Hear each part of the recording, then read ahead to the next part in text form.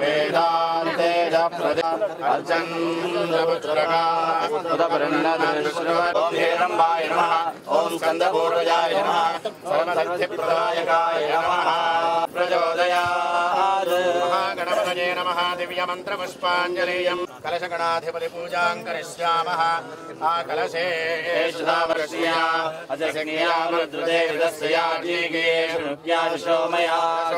पूजा द्रव्याणि सकलसम्भाराणि देवम् आत्मानम् च सम्प्रोक्षमोदराय नमः। ॐ सङ्कर्षणाय नमः।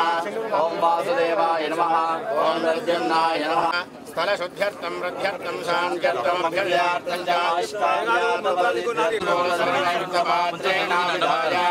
औषधीरम् प्रतिष्ठाप्य ब्राह्मणान् प्रार्थये जाताम्णान् च अमृते सत्ये प्रतिष्ठिता।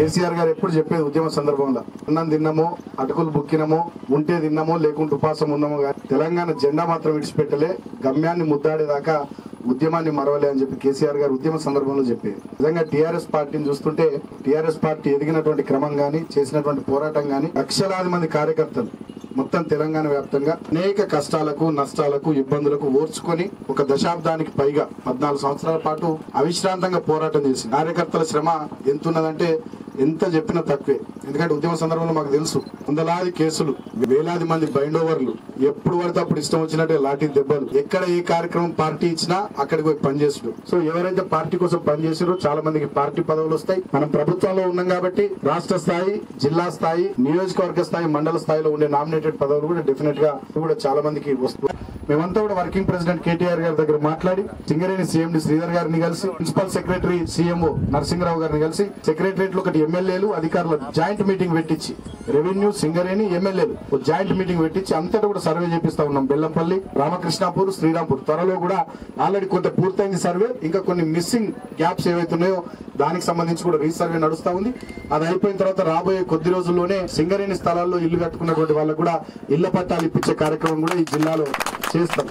ఇప్పటికే సంబంధిత మంత్రులు కలిసి అది కూడా రిక్వెస్ట్ చేస్తా ఉన్నాం. ఇక మనకు ఉన్నటువంటి మున్సిపాలిటీలన్నీ గొప్పగా అభివృద్ధి చేసుకోవాల్సింది ఉంది దానికి సంబంధించి మొన్ననే టీఎఫ్ఐడిసి నిధులు కానీ డిఎంఎఫ్టి నిధులు కానీ ఎట్లా పంచుకోవాలి ఎట్లా పెట్టుకోవాలి మున్సిపాలిటీలకు అనేది కూడా ప్రణాళికబద్ధంగా ముందుకు సాగుతా ఉన్నాం కాబట్టి రాబోయే రోజుల్లో ఇన్ని రంగాల్లో మేము ఎమ్మెల్యేలం కానీ స్థానికంగా ఉండే జిల్లా పరిషత్ చైర్పర్సన్ గారు కానీ వైస్ చైర్పర్సన్ గారు కానీ ఎంపీపీలు కానీ జెడ్పీటీసీలు కానీ అనేక ప్రజాప్రతినిధులు అధికారులందరినీ కూడా సమన్వయం చేసుకుంటే సమన్వయం చేసుకొని మంచి బ్రహ్మాండంగా కలిసికట్టుగా ముందుకు సాగుతాం. ఎక్కడ కూడా భేషజాలకు పోకుండా ఈ జిల్లా అభివృద్ధి లక్ష్యంగా తెలంగాణలో కాళేశ్వరం ప్రాజెక్టు కట్టిరని చెప్పి బ్రహ్మాండంగా వాళ్ళు రాసిన. సో అంత గొప్ప ప్రాజెక్టు. నలభై ఐదు లక్షల ఎకరాలకు నీళ్ళు ఇస్తుంది. ఫేజ్ వన్ ఫేజ్ టూ కలుపుకొని. దగ్గర దగ్గర నూట నలభై ఒక్క టీఎంసీల నీళ్ళు రిజర్వ్ చేస్తుంది.